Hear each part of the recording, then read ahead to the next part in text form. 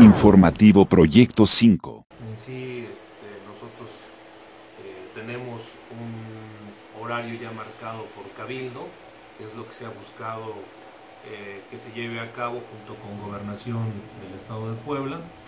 Y bueno, nosotros seguimos todavía los lineamientos que tenemos oficialmente. Entonces, ¿esto es sureste? Bueno, nosotros, insisto, nosotros tenemos ya eh, un proyecto que se oficializó a través del Cabildo y que se busca la regularización.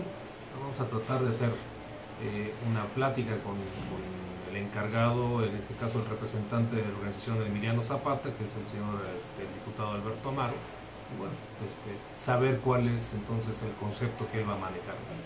Pero bueno, hasta donde tenemos nosotros conocimiento y la información y lo oficial es este, que ese no es el horario o el, este, los días que se van a manejar por parte del ayuntamiento.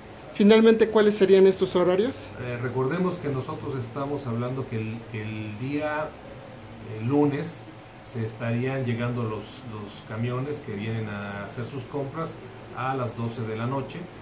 Eh, el comercio instala sus, sus, estructuras a las 6 de la tarde del lunes para terminar alrededor de las 6 de la tarde del martes o un poco antes, ¿no?